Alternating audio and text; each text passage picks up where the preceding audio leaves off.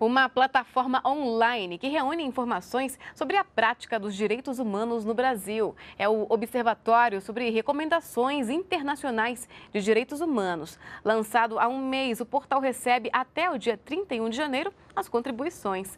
Vamos saber os detalhes com o repórter Paulo La Sálvia. Boa noite, Paulo.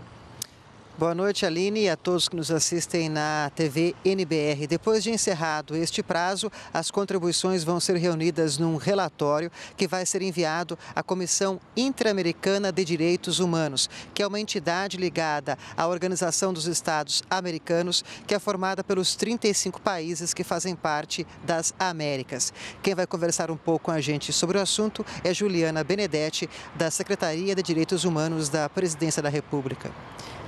Boa noite, Juliana.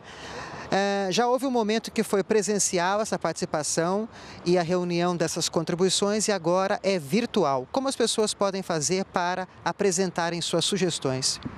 Bom, Paulo, boa noite. É, a Secretaria de Direitos Humanos criou uma comunidade virtual chamada Observatório de Recomendações Internacionais sobre Direitos Humanos, numa plataforma chamada Participa.br, que é uma ferramenta criada pelo governo brasileiro para propiciar, promover a participação social.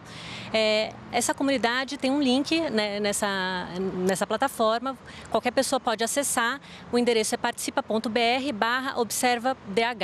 É, nessa comunidade é só entrar nesse link e deixar a sua sugestão ali consignada na comunidade. Os assuntos são direitos econômicos, sociais e culturais.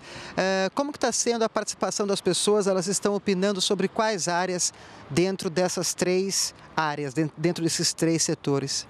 Bom, na verdade, a consulta vai servir para ajudar a Comissão Interamericana de Direitos Humanos a designar um relator especial sobre direitos econômicos, sociais e culturais. Então, o que se espera das pessoas é que elas deem sugestões sobre o futuro trabalho desse relator. Os relatores normalmente fazem visitas a países com recomendações para esses países sobre ações que esses países devem tomar para cumprir direitos humanos. Então, o que se espera é que as pessoas digam para o relator, para o futuro relator, o que elas acham que o Brasil tem que fazer para dar cumprimento a esses direitos.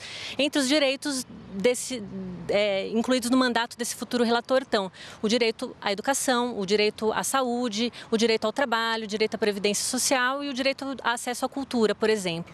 É, o que tem saído muito na consulta é a questão da violação de direitos cometidas por empresas e também a atenção a determinadas populações, é, como grupos indígenas, populações indígenas, pessoas com deficiência, crianças e adolescentes. Então, qualquer sugestão que as pessoas tenham a esse respeito, elas podem encaminhar para a gente, que a gente encaminhará para a comissão.